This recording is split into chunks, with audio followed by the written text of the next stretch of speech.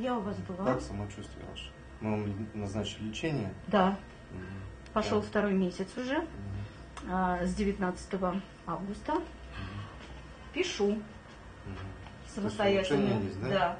Галина Александровна Шлиховая жила во Фрязино. Когда случились проблемы со здоровьем, помочь ей местные скулапы не смогли. Несмотря на лечение, состояние оставалось прежним. В Видное она переехала в 2014 году, но обращаться к местным врачам долгое время не решалась. Как говорит сама Галина Александровна, не видела смысла. Но когда стало совсем не в моготу, все же взяла талончик на прием. есть время, схожу.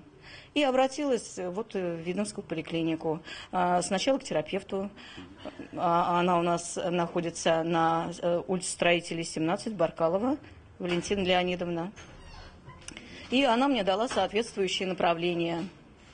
И вот таким образом я попала и к Сафаровой, и к Шарову. Терапевт Валентина Баркалова, гастроэнтеролог Сурая Сафарова и невролог Сергей Шаров вряд ли предполагали, что их фамилии будут в благодарственном письме, которое Галина Шлиховая направила в администрацию. Как правило, люди охотно жалуются на какие-либо недочеты, но когда врачи хорошо выполняют свою работу, предпочитают молчать.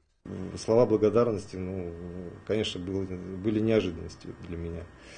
Вот. э, В основном чаще, конечно, пишут различные какие-то э, нюансы такие, где что-то там э, мы, якобы наша больница не доработала там или еще что-то. Невролог Сергей Шаров – один из тех, кому выразила благодарность Галина Шлиховая. В профессии Сергей уже 24 года. В день принимает по 30-35 пациентов. О том, что в администрацию было направлено благодарственное письмо, узнал из газеты «Видновские вести». Он не подозревал, что его лечение для Галины Александровны окажется настоящим чудом. Я просто была потрясена. У меня начались улучшения, улучшения, улучшения. И у меня уже тогда возникло э, желание, думаю, нет, вот я иду к Шарову, и после этого я непременно пишу письмо. Письмо зарегистрировано в канцелярии администрации 17 августа и дошло до нужного адресата. По заверениям главного врача Видновской районной больницы, благодарность будет не только на бумаге. У нас есть фонд стимулирования, и обязательно будет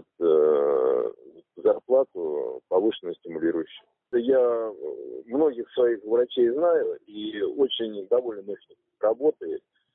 А, Почему? Потому что очень много идет благодарности в устной форме, но вот м, в письменной как-то поменьше идет, и это еще у нас, наверное, не принято.